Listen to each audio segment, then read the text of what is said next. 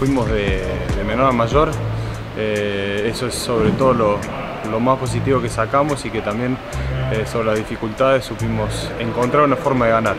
aun cuando por ahí las cosas no sonaban como queríamos o la forma que buscábamos jugar que nos, que nos gustaría, que nos gustaría llegar en algún momento,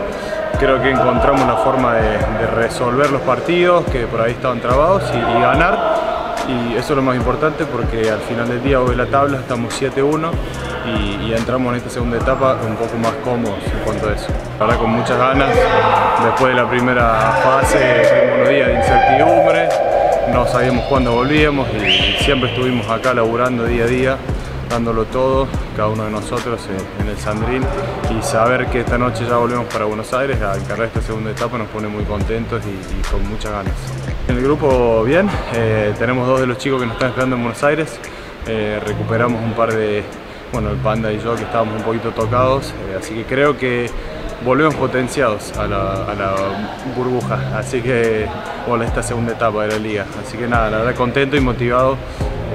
con mucha ilusión por lo que puede llegar a dar el equipo en esta segunda parte. Eh, bueno, lo individual es volver a encontrar eh,